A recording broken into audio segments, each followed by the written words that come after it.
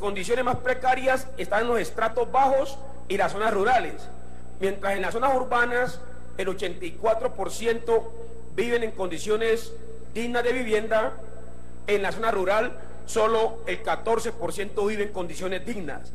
Muchos no tienen casas ni ingresos y el 68% de nuestros adultos mayores son jefes de hogar.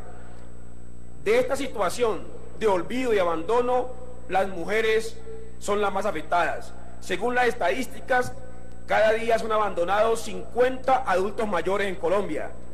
Una sociedad se le puede calificar dependiendo de cómo trate a sus adultos mayores.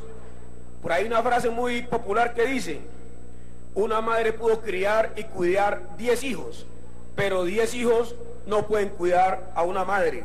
Por eso se necesita urgentemente una política pública estable y permanente de prevención y mitigación para nuestros adultos mayores. Por eso, de antemano anuncio mi voto positivo a este proyecto de ley e invito a todos mis compañeros de Cámara a hacer lo mismo.